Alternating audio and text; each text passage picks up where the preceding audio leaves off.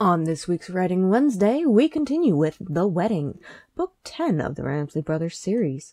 When we left off last week, Kitty was reevaluating her feelings for Ben. This week, Mary confronts Ben about Kitty's presence at the wedding weekend. Mary doesn't like Kitty and has gotten the impression her son has hired Kitty through an escort service for the weekend. Stay tuned to find out more. Don't forget to hit the like, subscribe, share, or bell to be notified for new videos. And let's get writing and welcome back. So, once again, we're just doing the continuation of last week's week five um, video, and we'll be writing today with some very new information. Um, Mary, who is Ben's mother, is a bit of a stickler for propriety, which is interesting because she's married to the laid back Oliver, but apparently opposites and perhaps money attract. One can never say with uh, the history of some people. So we're starting off back again at the gym scene where, um, well, someone was apparently going to ask Ben for breakfast and maybe a little bit more. And Kitty intervened for the clueless Ben, but she's not so clueless. She's she's starting to feel a little possessive of her friend and realizes that uh, ex- that lady was definitely going to hit on him, or maybe she was hitting on him already. So uh, Kitty jumps in with um, a fake ailment. I'm sorry, Ben, but could we cut this short? asked Kitty, ignoring the woman beside her. I'm not feeling very well. And Ben is you know, he realizes the situation's a little odd, but he's agreeable. So he shut off his machine and quickly sanitizes it, as one does when one is at the gym. Why doesn't your friend go to her room and lie down? asked the blonde with concern as fake as her eyelashes. I'm all alone in the hotel, and I was wondering if you might like to have breakfast with me. Yeah, she's all alone, and she wants more than breakfast. Maybe she wants to eat him for breakfast. Uh, but Ben, as always, is not socially adept. so, if you'll excuse me, Ben gave her a confused look. I'm going to see my friend upstairs. Kitty shot the blonde a triumphant look as Bren, yeah, sorry, Ben, threw the cleaning cloth into the appropriate bin, as one does again at the gym. She grabbed onto Ben's arm as they exited the gym. She was a little odd, remarked Ben. Do you need anything from the gift shop? Sometimes they have medications there if you don't happen to bring any. And Kitty didn't bother to explain. The woman had been angling for more than breakfast. The whole episode had seemed to gone over Ben's head. Once he lost a few more pounds, she had the feeling she might be fighting off all sorts of women. It was a little depressing. So Kitty and Ben, as we stated in the previous video, they are friends. Um, they are working toward becoming more than friends right now. Uh, he has a crush on her that she doesn't know about. And she's starting to realize that she has feelings for him. She's been helping out Ben since uh, Nate's death and has been trying to get him in better shape, taking over his um, food schedule so that uh, he's eating healthier and doing well. Kitty had just been about to confess that she was feeling fine when they ran into Mary, Ben's mother. Kitty had been getting mostly a cold shoulder from the impressive woman for the weekend. She didn't know what she might have done to deserve the attitude Mary had been giving her, but she hoped by the time the weekend was over to get into Ben's mother's good graces. Hello, Mary. Mary looked her over from sweaty head to sneakered feet. Again, they'd been working out at the gym. They're best to go upstairs, you know, each have a shower and get ready for the day. Finding her wanting, she turned her attention to Ben. So basically, she's giving her, as they would say in the old romance times, the cut direct. You know, looked at her and then turned away and talked to somebody else. It's very rude. But, uh, Mary, Mary definitely can be rude when she wants to be. And unfortunately for Kitty, that is Ben's mother. Benjamin, I think it's time we had a discussion on your choice of company for the weekend. Excuse me? questioned a surprised Ben. Kitty blinked at Mary's tone. I'm sorry if I have given any offense. Offense? Your very existence at this event is an offense, said Mary, or sniffed Mary. She lowered her voice. Well, this woman is quite snotty and a little bit nasty, but that's her character. Um, she's gotten very used to being where she is in society. She is the wife of a man who owns a chain of hotels. So Mary is very used to a certain measure of affluence, especially in the charity world and society in general, and that has come down lately because her husband has been involved in a money laundering scheme and some other illegal activities, and he's now in prison and will be charged and is facing time. So it brings her cachet in society down, and I would imagine it all that is very, um, kind of, I wouldn't say alarming to her, but it's definitely a bit of a shock to her. And, you know, when people lose control of situations, especially A-type personalities, we tend to, I am an A-type personality, we tend to spiral and, or we tend to grasp and try to keep more control over things that are not necessarily in our business to control. So, uh, in this case, she also has a history with her husband of Oscar, um, having lady friends and having affairs and doing things that he probably shouldn't ever have done as a married man. And uh, so that has also colored her experience in this particular case. So, um, yes, excuse me, questioned a surprise Ben. Kitty blinked at Mary's tone. I'm sorry if I've given you any offense. Offense? Your very existence at this event is an offense, sniffed Mary. She lowered her voice. Really, Ben? Bringing an escort to a weekend wedding? Is this what it's come to? She's not even a high-end escort. Brining. Not bringing. Brining. I'm gonna have to change that. Obviously, we've caught another spelling error that uh, actually the program does not catch because it is a word, even though it's not grammatically in the right spot. So Mary continues, I had to suffer your father's many infidelities, so that gives, again, our readers and audience a chance to realize that uh, she has a history which has perhaps colored her perception of uh, present day events. I am not going to suffer you openly consorting with prostitutes in front of the family. So, in other words, if you uh, do it behind closed doors, that's your own business, but uh, out in front of the family where everybody can see it, no, no, no, no. So that's kind of a f- interesting and funny attitude for her to have. Kitty's jaw dropped. She had no words for what Mary had just said. Mom, Kitty is my friend, defended Ben. I asked her to be here. And now, um, Mary and all her misguided ways is going to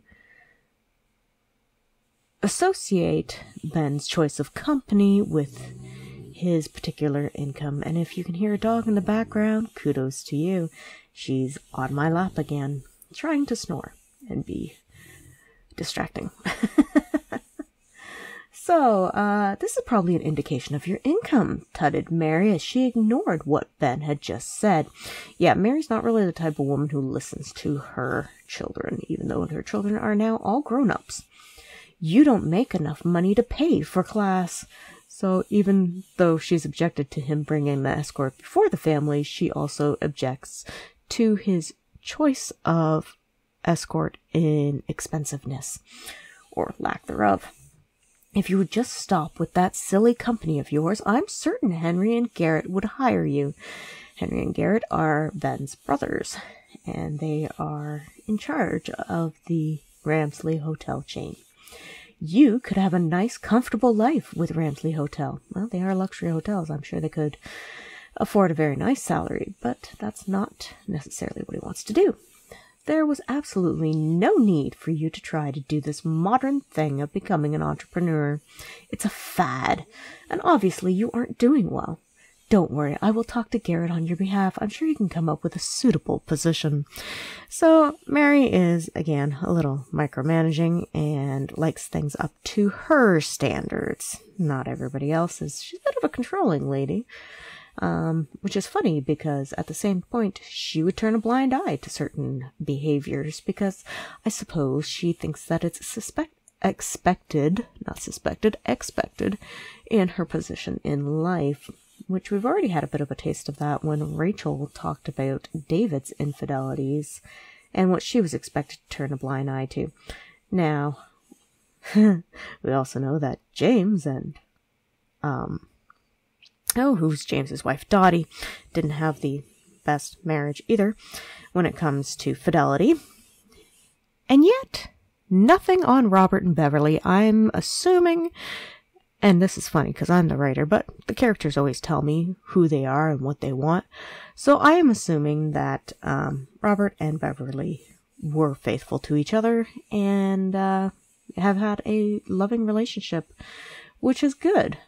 But yeah, kind of sad that uh, the other ones didn't. But maybe again, maybe that's partially David's influence in their lives as well, since they are his brothers, and uh, he did take Oscar with him to various um, side shenanigans when he got married, and yes, um, more than once as a polygamist that is.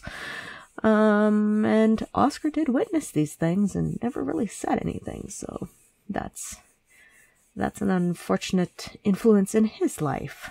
Perhaps he influenced James's life a little bit too much too. Obviously, he influenced the rest of their lives when it came to partaking in the illicit gains of the drug trade and laundering these money through their family businesses. Okay. Back to our scene. I'm happy with my job. Ben drew in a frustrated breath. I don't want to work for Ramsley Hotels. Mom, you need to apologize to Kitty.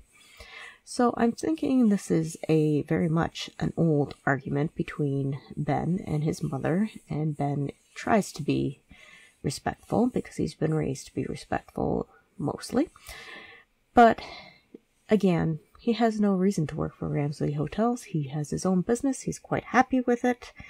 And at least he's trying to stick up for Kitty a little bit, considering he is a quiet person who doesn't tend to enjoy confrontation in his personal life. Apologize to that tart? questioned Mary in shock. Why would I? You should be ashamed for even thinking of bringing her here. Mrs. Ramsley, Kitty inserted herself into the conversation. Well, Kitty is one who would not stand back. She's a bit more of a fighter. I am not a hired woman. That's a very polite way to say prostitute. Uh, I am Ben's friend. We've been friends for six years. I hardly think, began Mary, but Kitty cut her off. Ben is the best guy that I know. He is amazing and would never disrespect you or his family by bringing, what did you call me? A prostitute or escort to a family event, defended Kitty with a small amount of heat. See, Kitty is, uh, this is what we would call like a testimony to another person's character. So another character's character in this case. Uh, nice play on words. And so she is defending him, but she's also saying exactly what she thinks of him. And it's a very nice moment for Ben because I don't think Ben gets defended very much. So this this will play into their relationship as well. Also, Ben is happy with his work. He might not make as much as his brothers or be in the family business, but he enjoys what he does.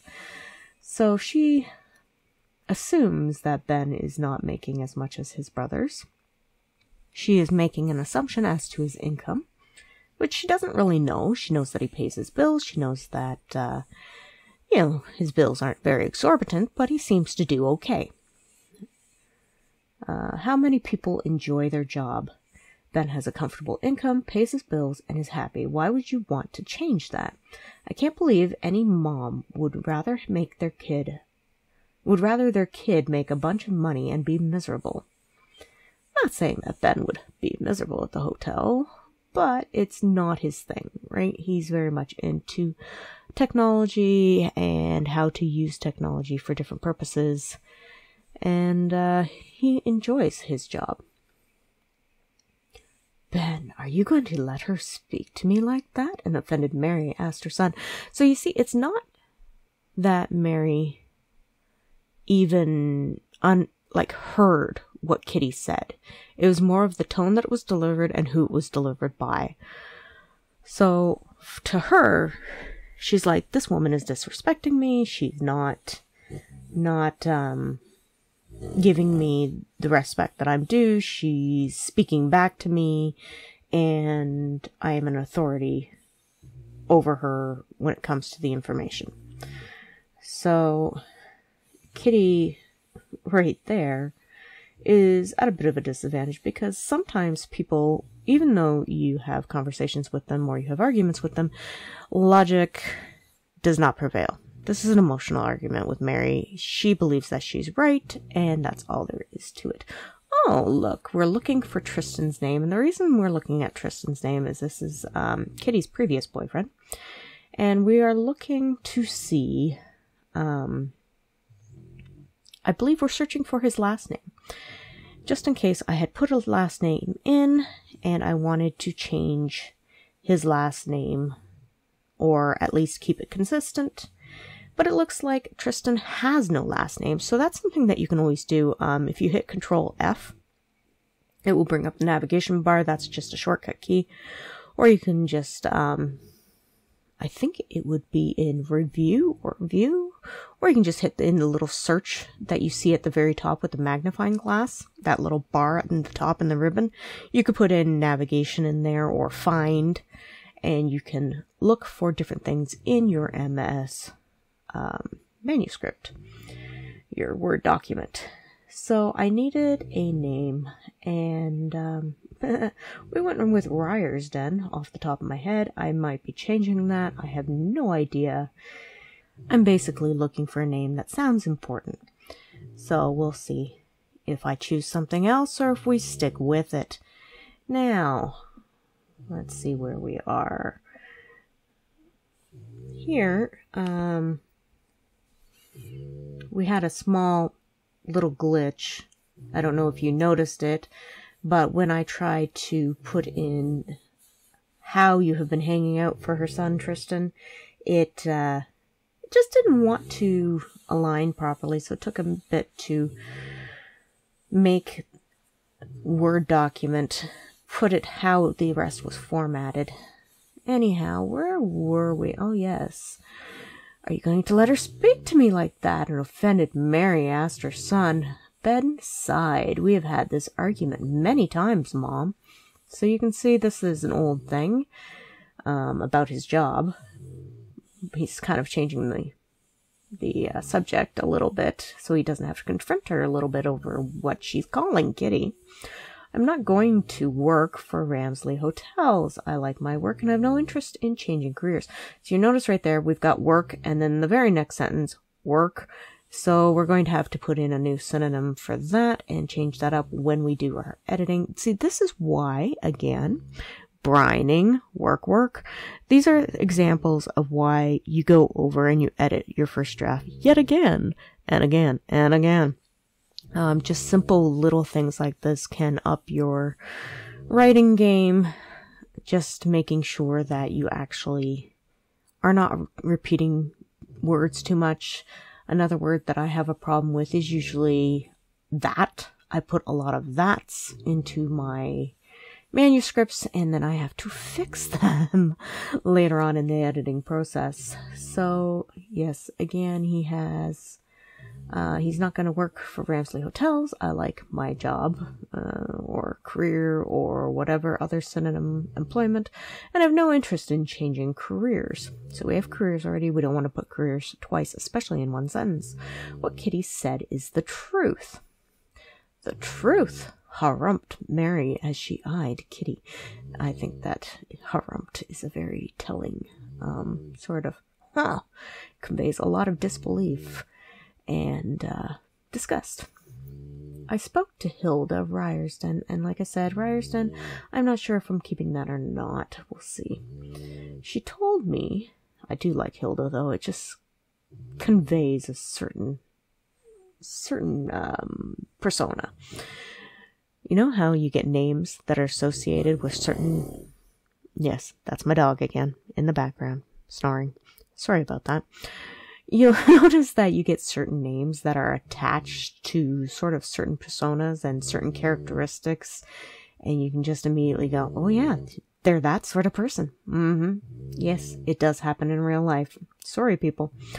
She told me how you have been hanging out for her son Tristan, making absolute spectacle of yourself, and it is absolutely shameful. Again, we've got absolute twice in the same sentence. You can see where I go wrong here. That's why this is a first draft. And we will go back and we will find a synonym that is appropriate and insert it probably for the first one and then go from there. I could also take it out and just say you're making a spectacle of yourself and it is absolutely shameful, but it's kind of nice to um, equalize our, what would these be? Adverbs? Adjectives? Spectacle? Shameful? Yeah, I think they'd be adjectives. And, uh, An adverb is a word that describes a verb. An adjective is a word that describes sort of a noun. If I'm correct. It's been a long time since grade four when we learned these things. Yes, I know I should brush up. I am a writer. I should know these things. But anyhow, that's why we keep reading these self help books and learning things. So uh, it's absolutely shameful how you were basically a kept woman. I don't like that sentence. I might have to say she or Hilda said how you're basically a kept woman. You built Tristan and his parents out of tens of thousands of dollars. I think someone, oh, exaggerated there. Well, I won't have you digging your claws into the Ramsley family. She basically thinks that Kitty's a gold digger and a prostitute. It's very rude. As I said, I expect better of my sons. Well, in public. Behind closed doors, that's another matter entirely. Kitty gasped in disbelief. Mom, Kitty barely makes rent, asserted Ben. She certainly didn't get that kind of money from Tristan. He probably lied so he could get more cash out of his parents. And I wouldn't put it past Tristan to do so because Tristan is. Yeah, Tristan is Tristan. And for those of you who haven't met Tristan yet, he is a spoiled little rich boy who does lie to get what he wants. Um, he's quite foul, actually, and I can't believe she stuck around with him for. Well, Kitty, I should phrase this correctly. I can't believe Kitty stuck around with him for, like, I don't know, five, six years. She's been dating him for a long time. And it is unfortunate because she just kind of got stuck into this relationship and didn't realize that the guy was no good for her or anyone else. So, uh, he probably lied so he could get more cash out of his parents. Again, wouldn't put it past him, and and Ben's eyes are quite fully open when it comes to Tristan. You're going to believe someone like her over me? demanded Mary. Again, Mary's not willing to listen to anything but her own view. We all know those people. They are there in our lives. It's unfortunate, but they are there. She's one of them. I'm saying that you may only have part of the story, stated Ben calmly. Again, you see, he doesn't really want to confront anyone. He's saying it nicely. He's dancing around the subject. He's a little bit of a coward. Um, it's unfortunate, but true. He's trying to be diplomatic. There we go. Ben is trying to be diplomatic. It's not really working very well. Kitty's will will definitely defend herself. I didn't take anyone's money, an upset Kitty stated firmly. See, Kitty will, will go to bat for somebody if she believes an injustice is committed. Ben, Ben's kind of like, well, that really kind of sucks. I mean, I guess I should help out, but uh, let's do this a little more diplomatically and a little more calmly. So it's good and it's bad. I mean, everybody has their quirks. That's just who he is. I'm not going to stand here and listen to her lie, sniffed Mary. I will see you at luncheon today. I expect you will have sent her away. So obviously, again, she's ignoring Kitty and expects her own wishes to be adhered to, no matter the logical argument. I'm not sending her away, replied Ben to Mary's retreating back. He ran a hand over his face before turning to Kitty. I need to apologize. No, she needs to apologize. Kitty dragged in a breath. You did nothing wrong. At least he did say that he wasn't going to send her away. Well, that was good of him. If you want to cut the weekend short, we can, offered Ben. So he's offering to kind of take um, the easier route, so to speak, but also in deference to Kitty's feelings, he's giving her the option, which is very nice of him that he is giving her that option. Where are we going hmm. here? I don't know. I had to look at something. Hmm. Oh, no, I know what we're doing. We're highlighting our text. Hmm.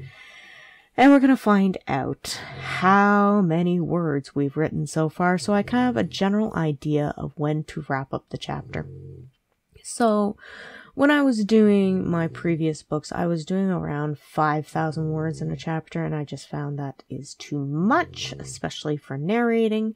So I'm bringing them down to shorter chapters. So around 3,500 words, I feel is a comfortable time frame. Now, obviously, some chapters are a little bit smaller, some chapters are a little bit bigger. I'm just trying to average around 3,500. That way, I have some continuity within the book when it comes to sizing of chapters. But also, I mean, when a scene has all the information, it has all the information. There's nothing else you can do. You can't add to it.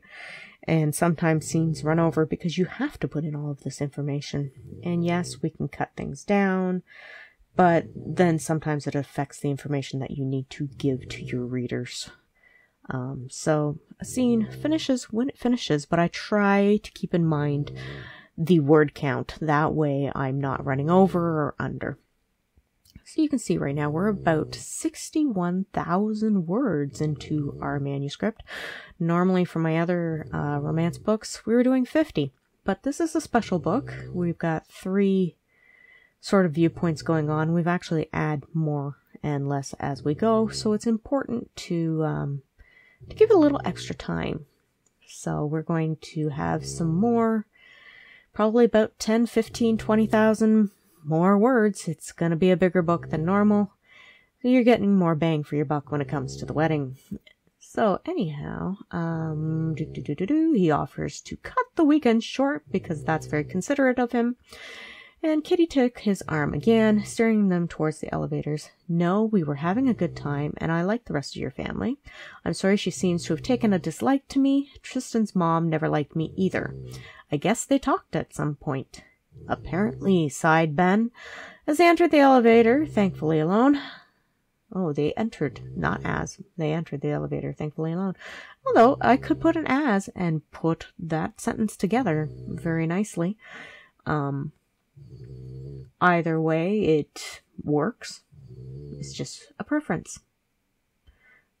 Did you mean what you said about my job. Now, the reason he's asking this is because um, he's been getting a few signals from Kitty, and he's a little worried that she figured out that uh, not only does he come from a loaded family, but he might have some money himself, and therefore he's worried that she's turned her attention from Tristan to him because she sees a windfall. And as much as he likes Kitty, and as much as they are friends, he also is aware of some of her shortcomings. So he is just worried that maybe she doesn't like him for him, but maybe she likes him for the money. Billionaire first world problems, huh? I mean, I think as as a person who is rich, that is definitely something that you would be concerned about in every relationship. I mean, how do you trust the person isn't after you for your money? So that has come into play into this particular book, because I don't feel like it came into play with the other books as much. Anyhow, sure, shrugged Kitty, you love what you do. I can tell. I would never want you to change something that makes you happy just to chase a few more dollars. Your brothers might make more money than you, but if doing what they do doesn't won't make you happy, eh, I'd like doesn't as well, then you should stay as you are. Your bills never seem always seem to get paid, so it isn't like you are hurting financially. Sometimes I envy you a little. You do? asked Ben, surprised at Kitty's admission. I wish I had a job that I loved, admitted Kitty. It's not like I don't like working, it's just I get paid so little I'm always behind. Also, I don't know what I want to do. I'm not talented like you. I just want to have some kids and take care of my own little family. So she has some goals that are, you know, they're traditional goals. And in today's age, it's hard sometimes to be a woman who just wants the traditional stuff. And yeah, she would like a man to take care of her. Um, she's not, she feels that being a homemaker and raising children would be more fulfilling to her than having a career. And that's perfectly fine. That's her choice. That's who she is. Rather, you know, other people, it's not a diss on them for getting a career and doing what they like. It's just her personal preference. So she doesn't know what she would want to do as a career. She's just not not like that. Most people think that's outdated, and it's true. A lot of people do think that's outdated, and some people are even offended by it. I don't know why. It's just everybody has their own role in this world. Somebody has to scrub the toilets, somebody has to be the mom, somebody has to be the dad, somebody has to, you know, be the lawyer or the doctor, be the taxi driver. Everybody's got their own roles, right? And everybody who loves their roles, no matter what their role is, kudos to them. I think that's awesome. So I think it's nice, mentioned Ben as they got off the elevator and headed towards their rooms. I think he thinks it's more than nice because, quite frankly, I think he appreciates the fact that uh, she's finally revealed to him that she's not after him for the money. Dun, dun, dun, which is awesome. So that gives their relationship a chance to head in a more romantic direction, should he ever maybe get some uh, courage to be with her, or maybe she will have to take the initiative. Who knows? I haven't finished the scene. We're still working towards that. Uh, my mom didn't have a career. She does charity work, but I don't recall her ever having a job. So he does um, kind of related to that there. And I think at this point, we have nothing much more to add, um, except that they're, you know, going to their rooms, going to get ready for the luncheon, and I'll have to finish off the scene because I really do feel like, um, of course, we were mostly left to the care of the nanny. Yes, that's definitely his childhood. Care of the nanny, because I don't think his mom or his dad, well, his dad would have been affectionate, but his mom not so much.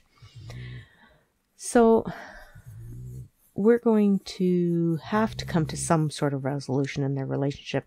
Now, whether that resolution is that the two of them are going to remain friends for now, and then possibly have their own future book, or whether we just feature them later on as a couple in other books because they actually take the initiative and become a couple in this by the end of this book.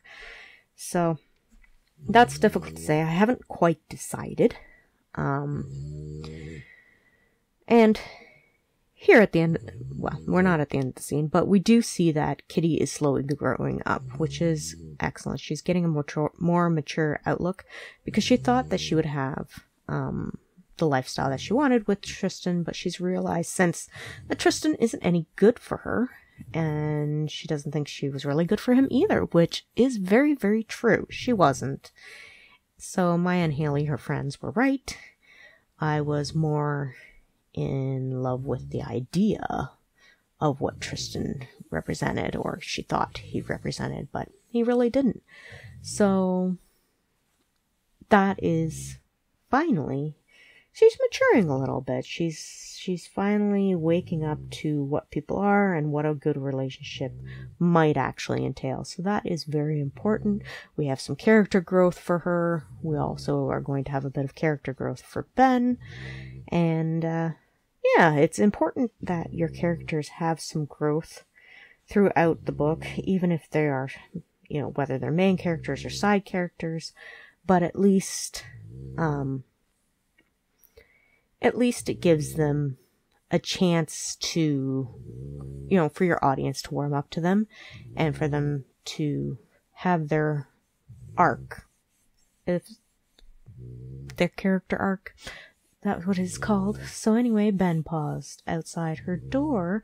He hesitated. So you are over, Tristan? Which is a very good question because he's curious to know Thank you for joining me on this week's Writing Wednesday. Check out the links in this video where you can find my books on Amazon, either in the Kindle Unlimited program to purchase as ebooks or as paperbacks. You can also find free audiobooks written and narrated by me on my channel as they are released. And please consider looking at my channel for other videos that you might enjoy. Happy writing and happy listening!